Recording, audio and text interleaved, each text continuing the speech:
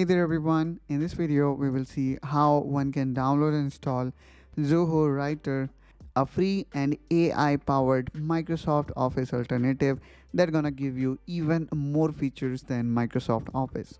So without further ado, let's get started. Okay, so first of all, let me press menu button and type EDGE that will open Microsoft Edge browser. Now type Zoho Office Suite and here we go. Here we can see this Zoho suit. Let's click on that. And then uh, you need to sign in. So I'm gonna sign out here. And let's see actually how easy it is to create account.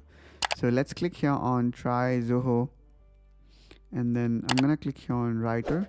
And here all you need to do is you need to sign in either using your Facebook account or Google account after signing in all we need to do is we need to click here on these three dots go to apps and then you need to click on this option which is install this site as an app.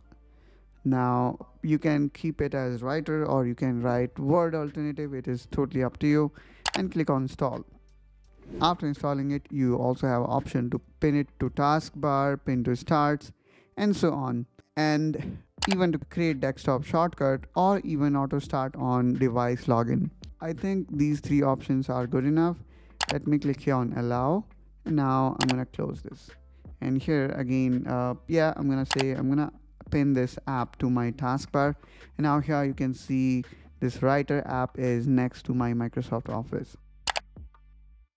Now let me click here and what this will basically do is this will open Zoho Writer in my system. So in this way guys, you can install Zoho Writer, a free AI powered Microsoft Office alternative in your system.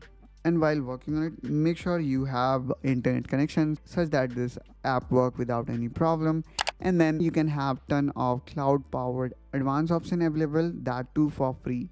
Just like uh, I just wrote YouTube and you can see the whole document is created by Zoho Writer. I hope that you find this video helpful and informational. If so, then please do like and subscribe to Technoholic to see more such content. And I will catch you soon with one such another video. Till then, you take care and bye bye.